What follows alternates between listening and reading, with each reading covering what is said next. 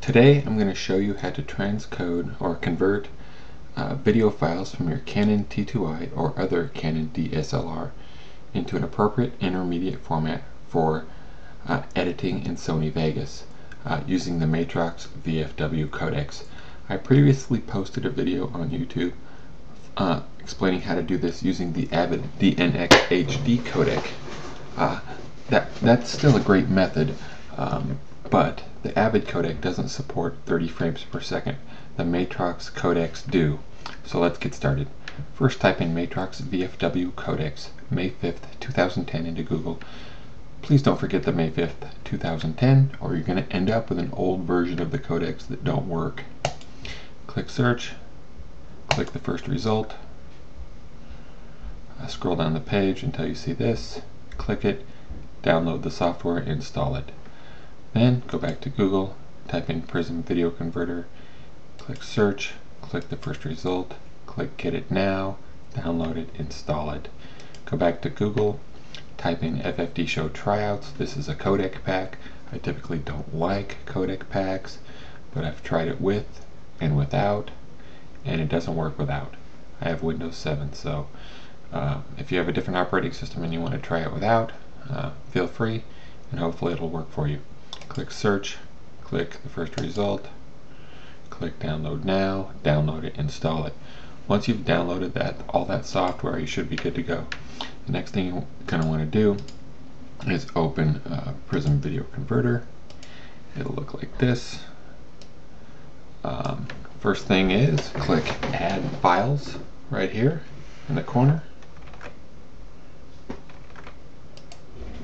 Pick the file you want to add or convert, then click Open, and you'll see it here in the list. Highlight it and click Play. Okay, it plays just fine. That's good. Uh, next thing you're going to want to do is make sure this output format is set to AVI. Then the next box is encoder options. You're going to want to click that when you do, this window will pop up. Make sure that um, the Matrox MPEG-2 I-frame HD codec is selected. For video compression settings, you're going to want to set your data rate to be, oh, probably 150 megabytes per second. Um, that'll produce a very high quality, visually lossless file.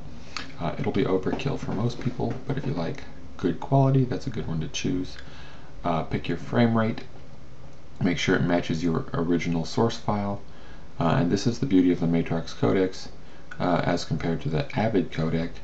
Um, the Avid codec did not have this option, so it's good to have it.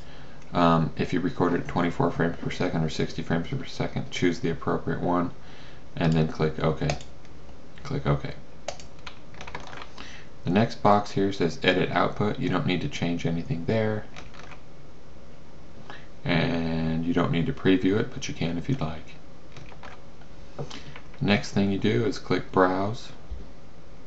And you're going to want to set your output folder. That's where the converted video will save. Typically I choose the desktop because it's easiest for me to remember. Click OK. Then click convert. Um, actually there's a good reason for preview is it will convert the first few seconds of the file and play the result.